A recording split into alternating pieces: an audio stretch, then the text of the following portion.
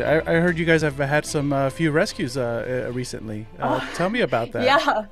Yeah, a few is almost an understatement. Um, Really? We've Okay. had a ton of rescues. Um, since I've been here, we've actually taken in 14 new animals and we've assisted in the rescue in 2021 of a total of 35. So between the animals we've taken in here and the ones that we've helped to network at other facilities, um, 35 lives saved, which is an awesome accomplishment.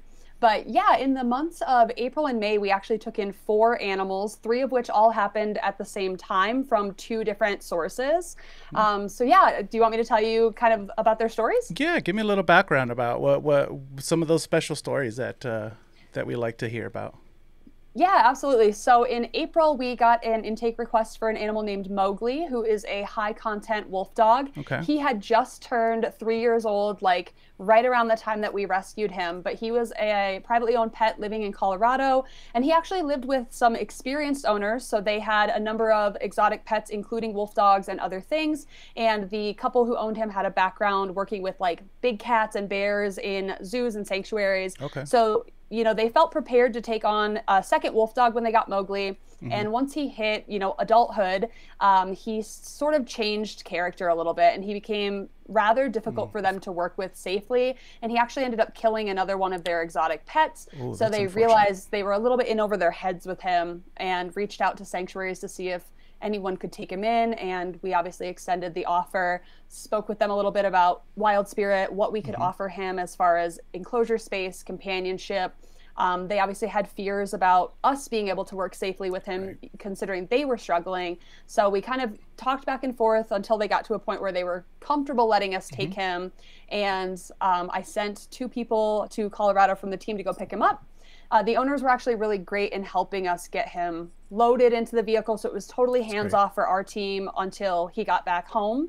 Um, But since being home, he has decided he does not like almost any one of our staff. He is actually a pretty outwardly aggressive animal towards people, uh, even through a fence line. Really? So uh, yeah, so he's been a little bit of uh, an experience for a lot of our staff that haven't quite seen that side of an animal before, and especially for our interns who maybe have never worked with wolf dogs in general. Right. Uh, and it's it's pretty polarizing to see that we have some animals here who are very social. Um, we put out a lot of content on social media that shows us interacting with them, and so I think people get this impression that, that that they're all like that and they're all lovey-dovey and hands-on, and that's absolutely not the case. Right. Um, so Mowgli is definitely one of our most difficult animals. He's very difficult to read. He can kind of be mercurial, Mm. but um, we were able to get him vetted.